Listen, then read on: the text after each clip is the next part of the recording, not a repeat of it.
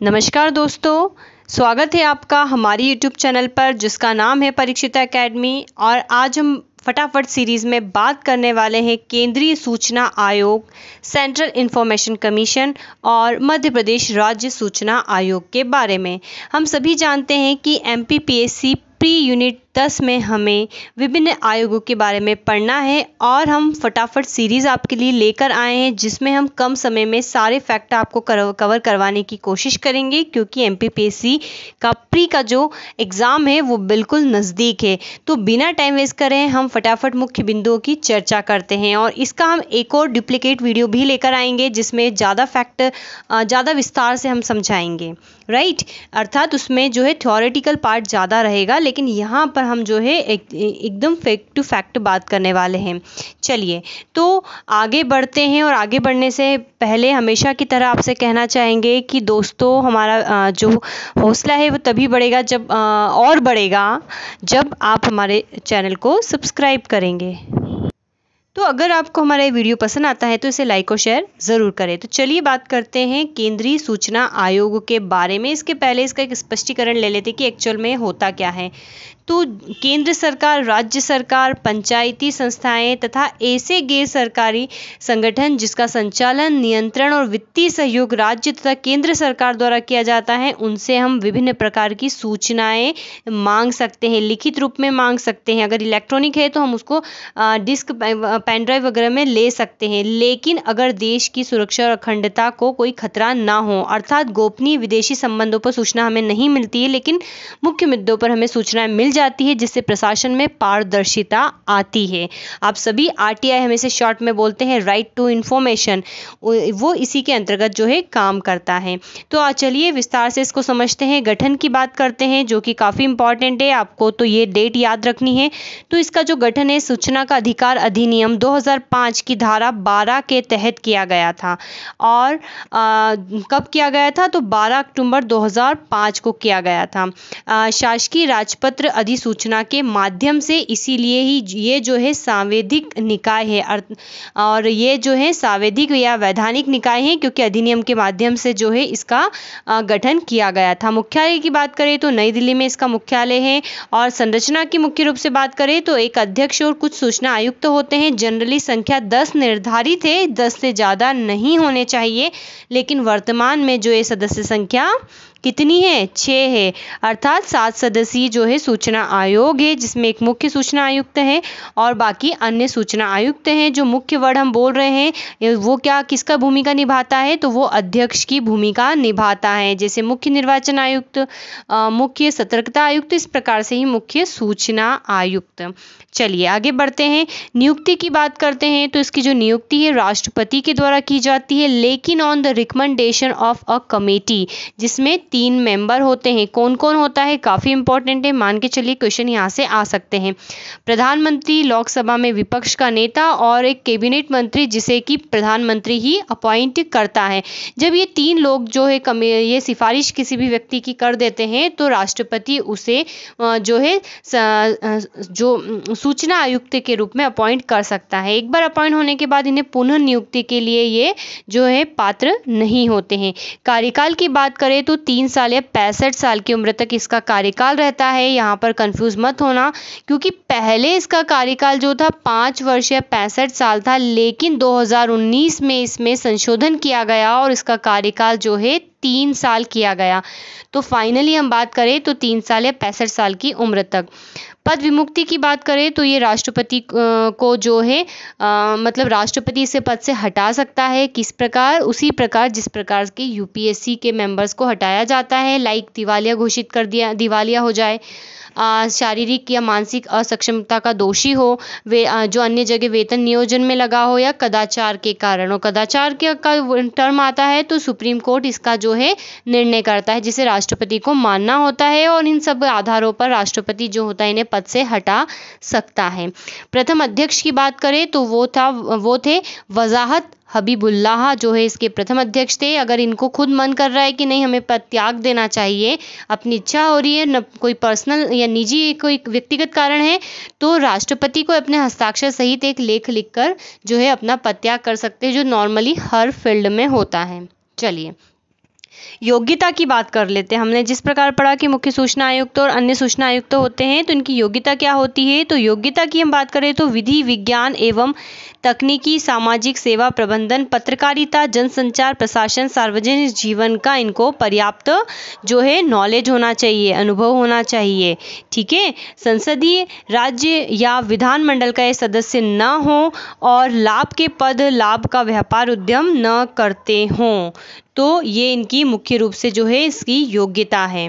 वेतन और भत्ते की बात करें तो इसके वेतन और भत्ते जो होते हैं निर्वाचन आयुक्त के समान होते हैं और निर्वाचन आयुक्त के वेतन भत्ते क्या हमने जब इसके अंदर पढ़ा था तो हमने ये पढ़ा था, ये सुप्रीम कोर्ट के न्यायाधीश के समान है। तो ये दोनों उसके लगभग पैरेलर आ गए।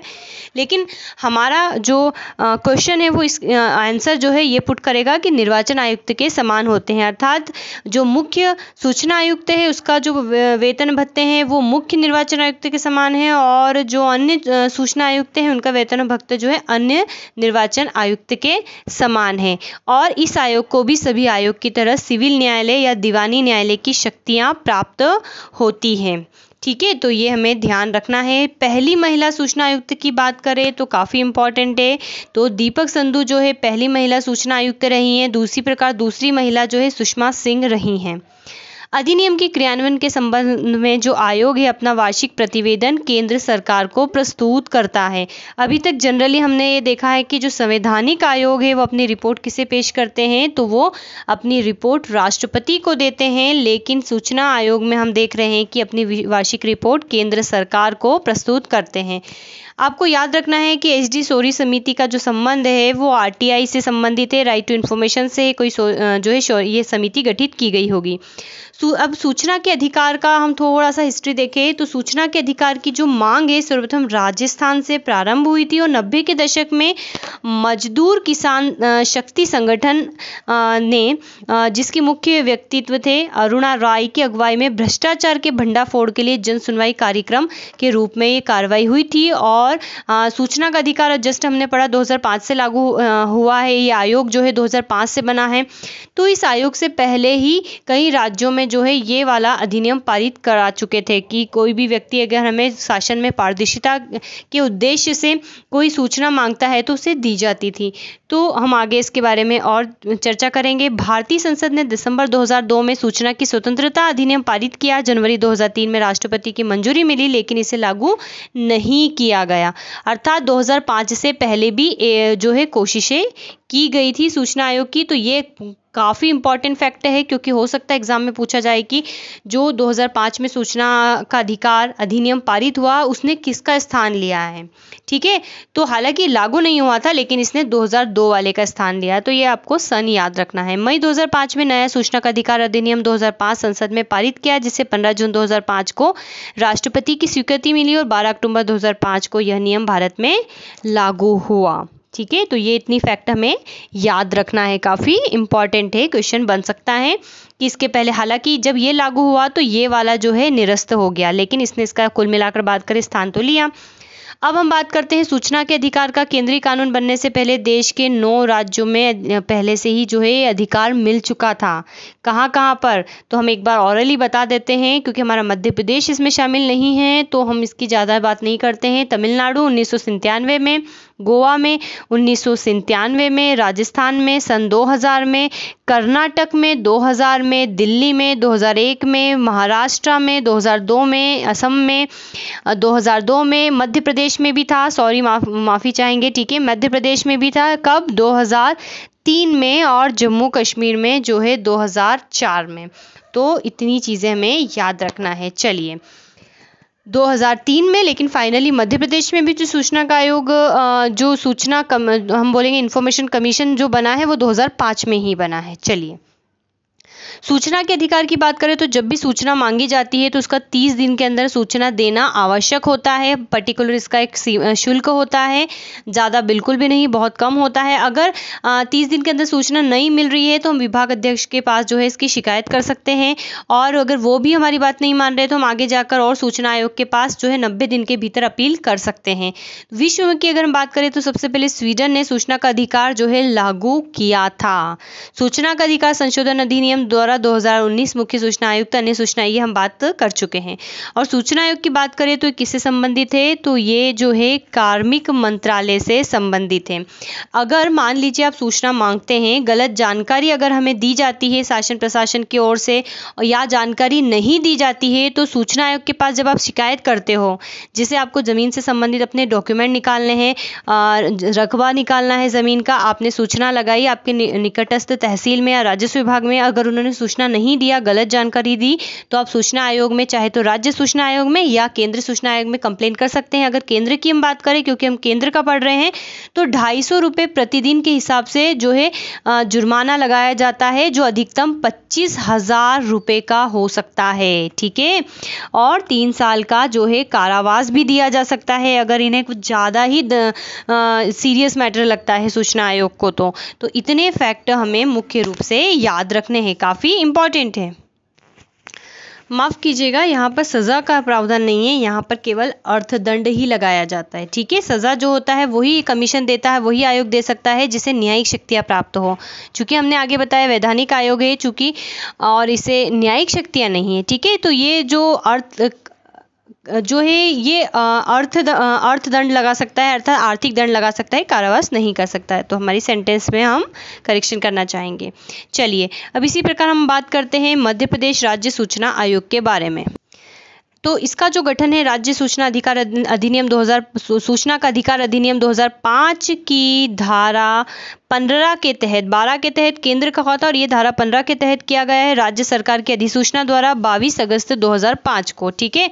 अर्थात उसके भी पहले जो सूचना आयोग है, उसका गठन हुआ था 12 अक्टूबर, जो केंद्रीय सूचना आयोग है 2005 में और इसका जो हो गया, पहले ही हो गया था बाईस अगस्त दो को। इसका जो मुख्यालय भोपाल में है, संरचना की बात करते हैं तो मुख्य सूचना आयुक्त और अन्य सूचना आयुक्त से मिलकर बना होता है, ये प्रावधान है कि दस से ज़्यादा मेंबर जो है नहीं होने चाहिए। नियुक्ति की बात करें तो इसकी नियुक्ति जो है राज्यपाल द्वारा की जाती है, एक कमेटी के रिकमेंडेशन के आधार पर, जिसमें होते हैं, बिल्कुल उसी तरह जैसे केंद्र में होते हैं, वहाँ पर पीएम था, यहाँ पर सीएम होते हैं, वहाँ पर लोकसभा में विपक्ष का नेता होता है, यहाँ पर विधानसभा में विपक्ष का नेता होता है।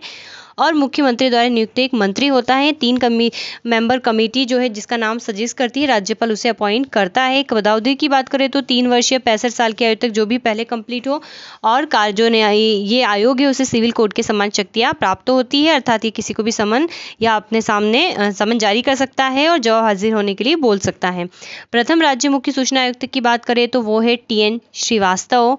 पुनः नियुक्ति जो है, नहीं होती है। वेतन भत्ते और सेवा शर्तें केंद्र द्वारा निर्धारित होती है और हटाने की प्रक्रिया जो होती है, राज्यपाल इसको हटा सकता है उन्हीं बेसिस पर जिसका नॉर्मली रहता है।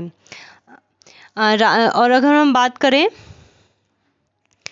तो ये राज्य है। राज्य मुख्य सूचना आयुक्त के वेतन और भत्ते था, उनकी सेवा के अन्य शर्तें राज्य के मुख्य सचिव के समान होती है। तो दोस्तों, आज के हमारे इस वीडियो में हमने जनरली आपको सारे फैक्ट बताने की कोशिश करी है। मात्र 10-12 11 मिनट के अंतर्गत आप समझ जाएँगे। और हमने वर्तमान जो केंद्रीय सूचना आयुक्त है और जो राज्य सूचना आयुक्त है, उसके बारे में नहीं बताया है। उसके लिए हम एक वीडियो लेकर आएँगे जिसमें हम सभी आयोग के जो वर्तमान जो भी अध्यक्ष है उसके बारे में डिटेल में आपको बताएँगे क्योंकि परिवर्तित हो जाते हैं, इससे भ्रम की स्थिति पैदा होती है, अर्थात कन्फ्यूज़न होता है। सो हम इसके लिए अलग से वीडियो लाएँगे। आप जब भी एग्ज़ाम देने आए, उसके पहले अपडेट ज़रूर रहिएगा। सो गाइस अगर आपको हमारा प्रयास पसंद आया है तो हमारे चैनल को सब्सक्राइब करें। हमारी वीडियो को जो है आप लाइक करें शेयर करें कमेंट करें। Thanks for watching and have a nice day